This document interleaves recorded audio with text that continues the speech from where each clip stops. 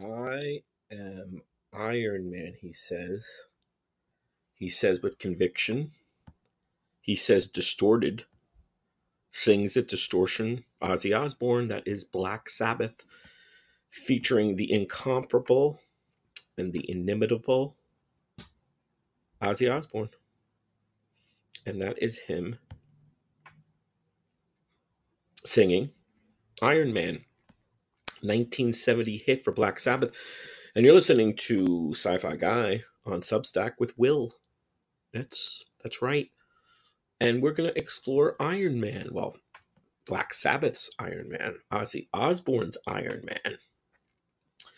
Now, you might be like me. For years, I had thought, erroneously, inaccurately, that Iron Man for Black Sabbath was about Iron Man. Tony Stark, Marvel, billionaire crime fighter, world saver, inventor, bon vivant, playboy.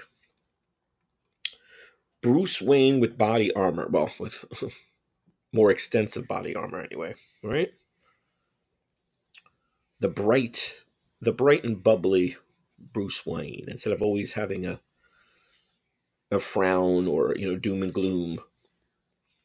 He's not Bruce Vane, as they say in the in the first Tim Burton 1989 version of Batman. Not Bruce Vane, but Bruce Wayne with a smile. Tony Stark. But for years, I always thought that Iron Man from Black Sabbath was about Iron Man, but it's not. Turns out it's not from the official wiki, we go always is a song, Iron Man, a song by English heavy metal band Black Sabbath, released in 1970 from the band's second studio album, Paranoid.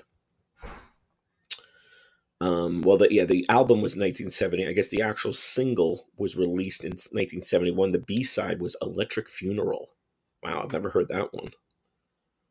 I'd love to. Uh, I'd love to hear that one. Um, let's see, and they oh they even give you a sample too in the in the wiki.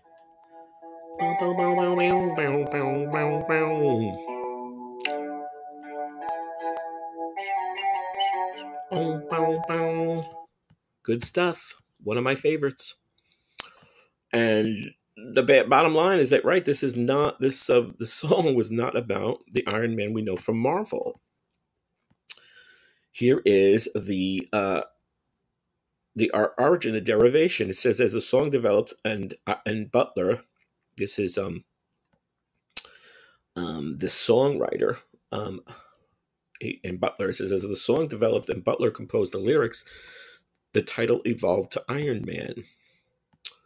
This is Geezer Butler. Terence Michael Joseph or Geezer Butler. The lyrics composed by bassist and lyricist Geezer Butler tell the story of a man who travels into the future and sees the apocalypse. In the process of returning to the present to warn the human race, he is turned into steel by a magnetic field, and his attempts to warn the public are ignored and mocked.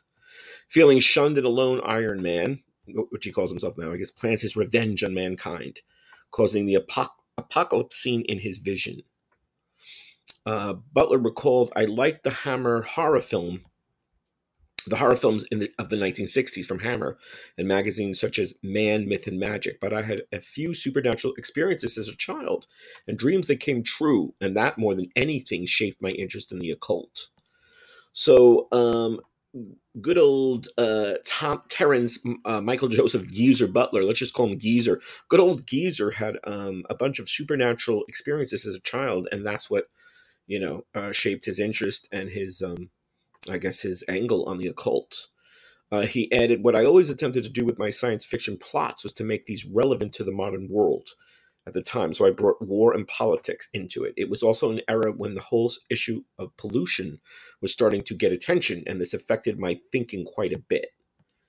So, as we can see, this is not about Marvel, not about Tony Stark Iron Man. It is about a weird sci fi plot, um, future sort of time traveling, time tripping. Of course, now it is so associated with Iron Man. And it was used in the 2008 movie Iron Man. It says Iron Man was used in the end credits of the 2008 movie Iron Man, as well as its video game adaptation. And, and, and the trailer for the 2010 sequel Iron Man 2. and and Tony Stark, uh, you know, Robert Downey Jr. in the uh, just the the Avengers uh, in 2012, he wears a Black Sabbath T-shirt. Um, so it's really been connected and sort of integrated into the uh, Iron Man or, or, almost official universe.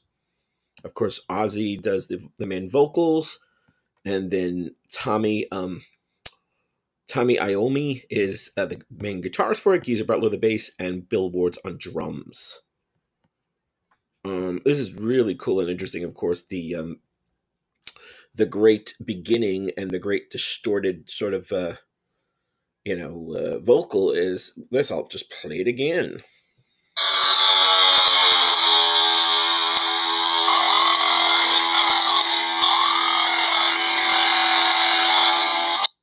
He is Iron Man. Now, some people thought I guess that it was Ozzy singing through a, a, oscillating metal fan.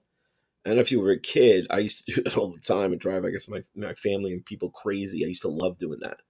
And it sounds a lot like that, but I guess that's not the. It says the distorted vocals at the beginning that say "I am Iron Man" were created has been a topic of debate. It's rumored that Ozzy had sung through an oscillating metal fan to get the sound, but it's more likely his voice was run through a processor called a ring modulator, which creates a wobbly electronic effect by mixing the input signal with the oscillator.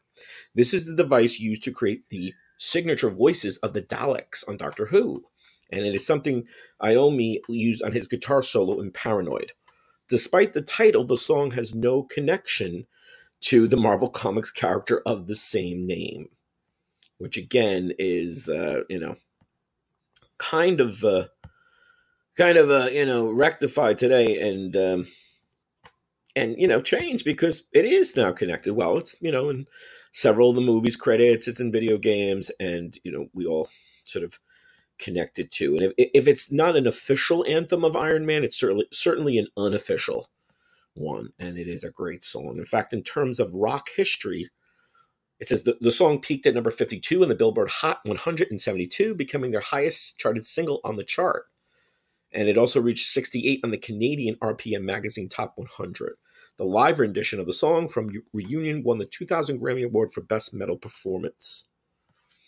And in terms of Rolling Stone's list of the 500 greatest rock songs of all time, it won number 317, not too shabby.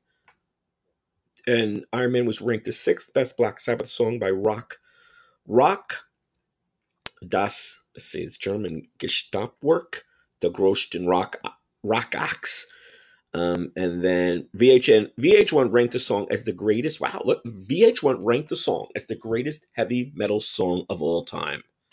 So you can't get much better than that. VH1 did, but still, that's pretty cool. So there you have it. The, the the sort of song I always thought was an um, you know official connection somehow to Iron Man is not, but now it kind of is. So it sort of went you know full circle. It it was not, but it is and it's certainly one of my favorites. I hope it's yours, and I hope you enjoyed listening. As usual, it'd be great for you to subscribe if you have not.